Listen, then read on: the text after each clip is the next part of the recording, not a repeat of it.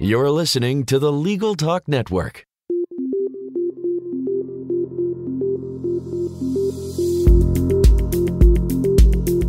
Hello, I'm Bob Ambrogi. And I'm Monica Bay. We've been writing about law and technology for more than 30 years. That's right. During that time, we've witnessed many changes and innovations. Technology is improving the practice of law, helping lawyers deliver their services faster and cheaper. Which benefits not only lawyers and their clients, but everyone. It moves us closer to the goal of access to justice for all. Tune in every month as we explore the new legal technology and the people behind the tech here on Law Technology Now.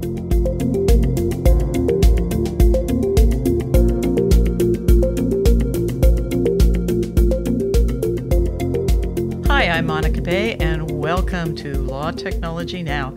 I have a fantastic guest today, Charles Duhigg. Thank you for coming today. Thank you. Thanks for having me. Oh, it's my pleasure. We had the great opportunity. You were so kind. I believe it was 2014 where you came to Legal Tech uh, New York and did a fantastic, absolutely excellent speech. Uh, you had the keynote uh, there, and everybody was absolutely raving. Uh, so I know you have a little experience in the legal community. One of the reasons I was very excited to have you come on our show is because of your new book, Smarter, faster, better. And I think there's a lot of relevance for the entire legal community and especially big law from your book. Every time when I came across one of your segments, I thought, wow, lawyers need to know this. So I want to talk to you a little bit today about that. And one of the things that faces the legal community right now is across the board, 80% of Americans cannot either find a lawyer or can they afford a lawyer? And there's been a lot of critics who are saying we need more tech, we need to revise the way that legal works, we need to have it not be so heavily about billable hours, so forth and so on. James Sandman is a huge advocate for this. He's the president of the Legal Services Corp.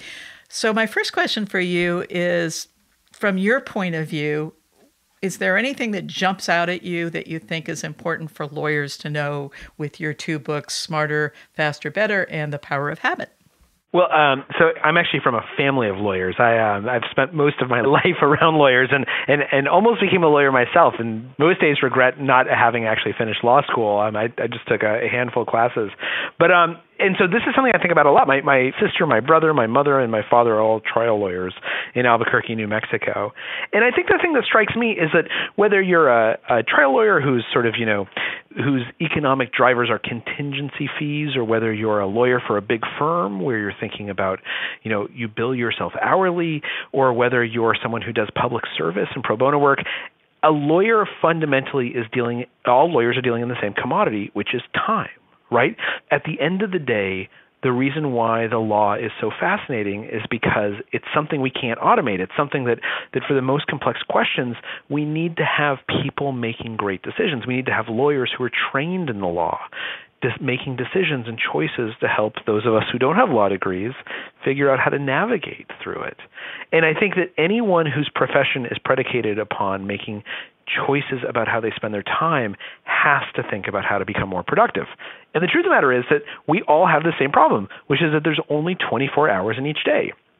Whether you're President Obama or whether you're a Supreme Court justice or whether you're a writer like me, we all only get 24 hours. And so the question becomes, and this is kind of what motivated writing Smarter, Faster, Better, was this question of why do some people seem to use those 24 hours better than others? Why do they seem to get so much more done? And what the research behind this indicates, because we're kind of living through this golden age of understanding the neurology of productivity and the organizational management of productivity, is that the most productive people tend to be the ones who paradoxically find routines or habits that allow them to think a little bit more than everyone else right? And I, I think probably everyone listening to this has had this experience that in today's economy, it is possible now to be busy every minute of every day. You can respond to every email, you can deal with every meeting that comes up, you can every request that comes in, but we all know that the people who are most productive are the ones who manage to take a step back and say, "No, I need to prioritize. This is what's important. That isn't. I don't need to deal with all those emails. I can do this instead." giving yourself routines that allow you to think, that's what makes the difference between busyness and productivity. When I read both of the books, I was just so mesmerized by the application in so many different areas. And in both of the books, I really loved both of them. On the first book, I was particularly moved by the Alcoa story. Can you tell us a little bit about that and what Paul O'Neill, and it's not the Paul O'Neill Sure. from the Yankees, it's another Paul Right, O'Neill. right. right. The other Paul O'Neill, the one who was the Treasury Secretary. So before Paul O'Neill was Treasury Secretary under Bush, he was the CEO of Alcoa, which is the, one of the largest aluminum companies in the world. And what I love about this Alcoa story is that it sort of demonstrates this central idea, which is that when it comes to organizations, there is a huge amount of research to suggest that leaders, rather than focusing on trying to create widespread change, ought to try and focus on creating one kind of change. And that if you change the right organizational habits within a company or an organization, that it seems to set off a chain reaction sometimes that changes other patterns as well. And within the academic literature, these are known as keystone habits, these habits that seem to have a disproportionate power. So when Paul O'Neill comes into Alcoa, he's a guy who actually doesn't have much background, any background really in manufacturing. He had been the head of OMB um, under President Carter and President Johnson. He comes in and he had worked previously at a paper uh, manufacturing plant, and then he comes in as the CEO of one of the largest aluminum companies on earth.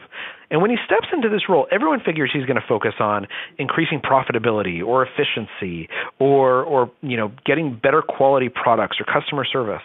But instead, in his first meeting with shareholders, he says, "The thing I want you to judge me on is whether I can improve our worker safety habits."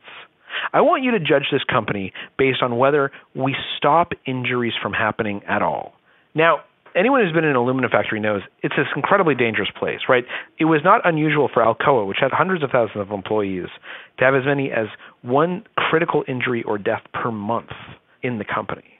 And Paul O'Neill comes in and he says, "Look, I got to change this company, and I, I there's a dozen things I want to change. But if I go to the workers and I say, I want you to become more profitable, they're going to tell me to go stuff it. And if I go and I say to the managers, I want to focus on customer satisfaction, they're going to tell me, look, my job is to run a factory, not to worry about that. But employee safety, employee safety is basically something everyone agrees on. Because guys on the factory floor, they don't want to they don't want to feel like they're in danger and managers managers actually have, want to take care of their people, right? Nobody can disagree with employee safety. And he says, look, here's how I think we should change employee safety. I want us to create the best quality workforce, a place where no one ever gets injured. And the only way we can do that is by studying how to make our process more efficient, how to do everything right, how to never have an accident or a mistake. Because accidents or mistakes, that's where people get hurt. Now, the brilliance of this is that by saying I want to focus on worker safety, what he's really saying is these factories need to become more efficient. They need to become better. They need to become cleaner. They need to become more predictable. By focusing on worker safety, Paul O'Neill actually starts looking at these other things that he wants to change. But he does it in the language of worker safety, in the habits of worker safety, in something everyone can buy into. And in doing so, not only does he make Alcoa into the safest company on earth, not just the safest aluminum company, the safest company. You had a better, higher odds of injuring yourself as an accountant than you did making aluminum at Alcoa. He also makes it one of the best performers in the Dow Jones Industrial Average because we all know that at the end of the day, in order to have a safe workplace, you usually have a really well functioning workplace. In your new book, which is again Smarter, Faster, Better, you have really a fascinating section about plane crashes and, and a plane that did not crash uh, Air France 447 and Qantas 32. Tell us the lessons that the legal profession can learn from those two airplanes. Well, it's interesting because so Air France Flight 447, most people probably remember, is the flight that crashes into the Atlantic Ocean. And what's interesting about that flight is that there was nothing wrong with the plane. It's a situation where the pilots created an emergency almost entirely. And then we can contrast that with another incident, Qantas Flight 32, which you mentioned, which is one that most Americans aren't familiar with, but is really well known in Australia because it was an Australian airline, where this airplane actually had the worst mid-air mechanical disaster in history. Basically, a fan blade inside one of the engines shot off of the main cylinder and like poked a huge hole in the wing of the plane. And the pilots in that case were able to land the plane without one injury. And so the question then becomes why these different outcomes, right? What explains why some people make mistakes and other people don't? And what researchers have found is that a lot of that has to do with how actively they create for themselves what are known as mental models. Or put differently, with how much degree of specificity do they tell themselves a story about their life as their life is occurring? How much do they visualize what they expect to have occur? Now, a lot of what we know about building mental models comes from things like studies of um, firefighters. One of the things we know is that the best firefighters, expert firefighters, when they walk into a room where there's a fire, they immediately start telling themselves a story about what they expect to see. They say, okay, in the left corner, I think I'm going to see flames, and in the right corner, there's a staircase, and I expect to see that burning even faster because stairs burn faster than anything else. And then when they walk into that room and they don't see as many flames on the staircase as they expected, some part of their brain immediately says, focus on the staircase. There's something wrong with the staircase. Try and figure out what's going on. Or in studies of um, executives, there's a big studies that have been done of Fortune 500 executives, and what they found is that the most successful executives tend to visualize their day with just a little bit more specificity than everyone else. So instead of saying like I have a meeting at 10 o'clock and then I have to meet a client at 11 o'clock, they say, okay, I've got a meeting at 10 o'clock, and it's going to start with Jim bringing up that dumb idea he always brings in, and then Susie's going to disagree with Jim because Susie hates Jim, and then I'm going to jump in with my idea, and I'm going to look like a genius, right? It's just like an extra 20 seconds of visualizing how this meeting is going to unfold. But we all know how powerful that is. That if you sort of have a plan in mind, if you have a mental model, a story you've told yourself of how you expect things to unfold, not only does it make you more prepared for that meeting, it also makes you much better prepared when the unexpected happens. When your boss asks a question out of nowhere, or when, when someone says something you didn't expect, you're able to kind of roll with it, to anticipate and react to that surprise. And that's what the difference was between Air France Flight 447 and Qantas Flight 32.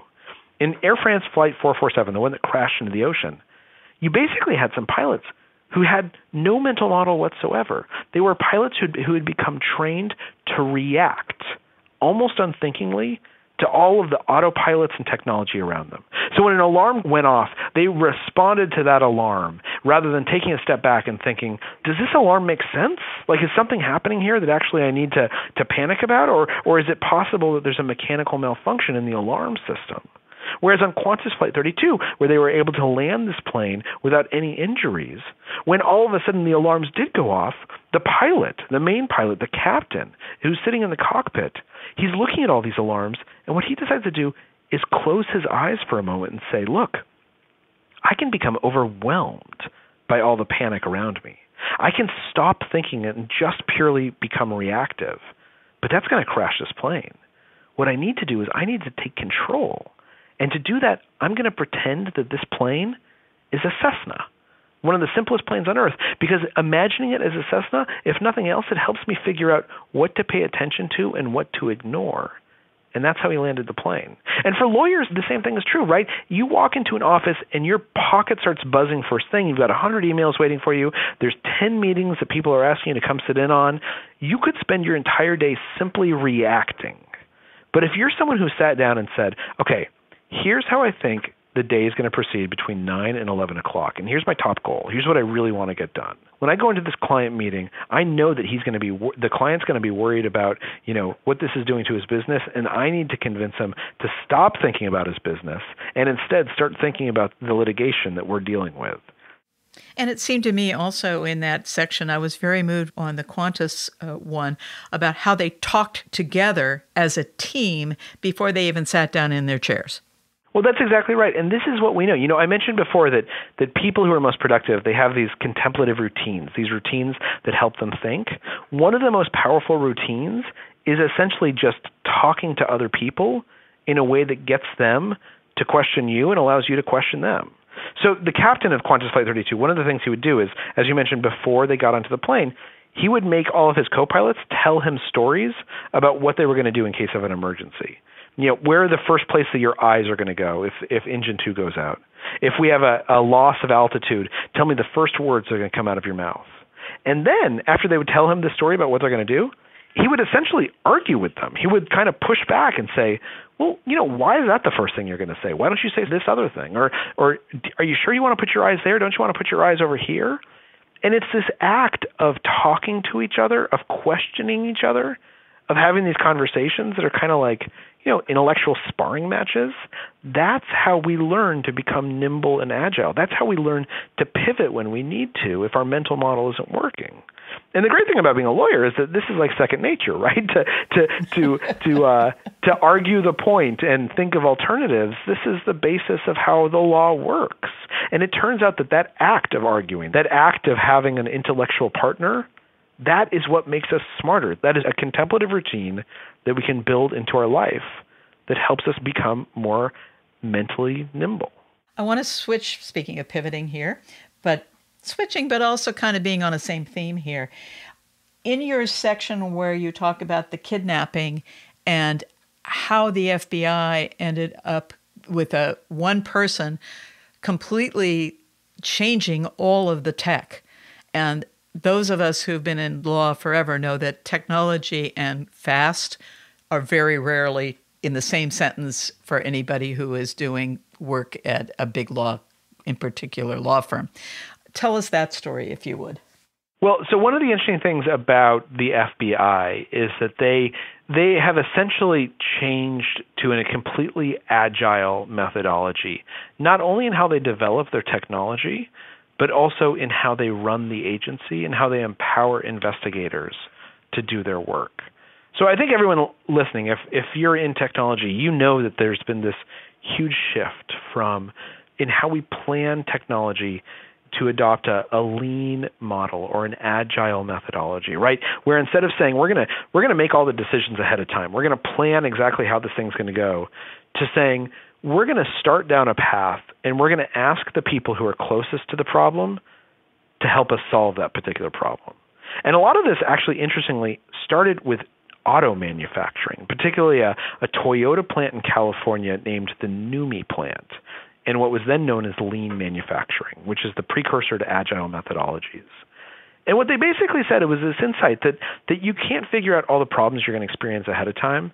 So what you need to do is you need to empower people to solve problems when they come across them. And that oftentimes the first person to come across a problem, whether that's a programmer or someone working on a factory floor or a junior attorney, that person actually can oftentimes solve that problem better than anyone else because they're the closest person to it so what does this mean for those of us who are who are working in technology or who want to learn from examples like the FBI and their ability to sort of revolutionize how they integrate tech into their work? Well, what it tells us is that one of the best things that we can do is that we can try and empower the people around us to make great choices. That oftentimes, if you're a, a junior FBI agent and you're chasing down a lead, it used to be that you were in a hierarchy and you had to ask for permission before pursuing a clue. And what the FBI has said is no, no, no, that doesn't make any sense. If you're chasing a lead, you should be able to determine which clues matter and which don't. You should develop your instincts because your instincts are going to be better than some guy sitting in an office. Similarly, if you're working on a big lawsuit, and I have friends who are in this situation, and you've got a hundred lawyers working on it, or if you're trying to change the technology inside a law firm, it's really tempting for the person at the top of the organizational chart to say, look, every decision has to be run by me. This is too important. I got to weigh in on everything. But what we know about the most agile companies is that they tend to do the opposite. They tend to say, when you have a problem you can't solve, then you come to me and ask my advice. But I'm going to empower you, junior attorney or junior technologist, to at least take a first stab at solving that problem because by virtue of the fact that you're closer to it, you probably see some innovations that would never occur to me. Well, I know we're running out of time, but I want to ask you one more quick question, really quickly. You preach in the first book, and it, I think the theme goes through into the second on always take advantage of a crisis. Tell us a little bit about that. Well, I think this is just this is just good sense, right, for folks who have been through crises before. One of the things that we know is that in the midst of a crisis, everything becomes more flexible right in the midst of a corporate crisis suddenly people are willing to to reconsider how they've been doing things for years when individuals have crises we know that those are times when their own personal habits are more likely to change most people ha- when they they go through a health crisis or or they're getting a divorce or something like that that's when they actually change their lives much more than at other moments and so the problem with a crisis is that it's super unpleasant, right? Like nobody wants to have a crisis just to make a change. So the question becomes, how can we learn from this without having to, to have everything go to hell? And the answer is that you can create the perception of a crisis. You can create the conditions of a crisis without actually having to experience one and make folks flexible. You know, when you hear Tim Cook at Apple talk to his troops, he never talks to the company about how great they are. He always says, you know, we're doing well right now, but tomorrow, tomorrow there could be some new startup that would put us out of business in 3 years. He creates the perception of a crisis when it, one doesn't even exist because he knows in doing so, he's helping his people become flexible. People do the same things, right? You sit down and you say, "Oh gosh, I've been eating really unhealthily for the last decade." And you know, I haven't had any heart attacks, nothing, but you know, I have a I have a doctor's appointment coming up in a month and I just know that like that doctor he's going to tell me that my health is not great unless I start eating vegetables and exercising right now. Now, nobody knows that, right? There's no doctor who tells you that you're out of the blue that your health isn't isn't good and you've got a problem. But by creating this perception that change is important and needed, we make it easier to accomplish. And that's the important lesson. Is that never let a crisis go to waste. Never never miss that opportunity. But more importantly, think about how you message things to yourself and to your employees. Because if you can create the perception of a potential crisis, then you help people get down the path of change. Charles, thank you so much for your time. And once again, the books are The Power of Habit, Why We Do What We Do in Life and Business, and Smarter, Faster, Better The Secrets of Being Productive in Life and Business. Charles, can you tell us a little bit about how to contact you? They can get the book at Amazon or any bookstore, Barnes and Noble that they live near, and any of their preferred booksellers, or Audible.com if they want to listen to it. And um, I'm Charles at charlesduhigg.com. I'd love to hear from folks. Terrific. Well, thank you so much. I, I wish I had five hours to go on this, and and uh, thank you. I'm looking forward to the. Do we know what the next book will be? Uh, I I don't yet. If you do, let me know. thank you so much. Thank you. Take care.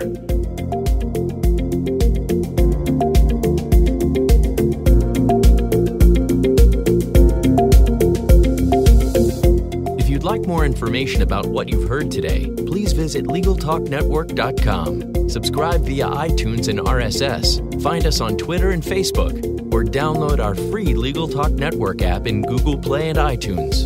The views expressed by the participants of this program are their own and do not represent the views of, nor are they endorsed by, Legal Talk Network, its officers, directors, employees, agents, representatives, shareholders, and subsidiaries. None of the content should be considered legal advice. As always, consult a lawyer.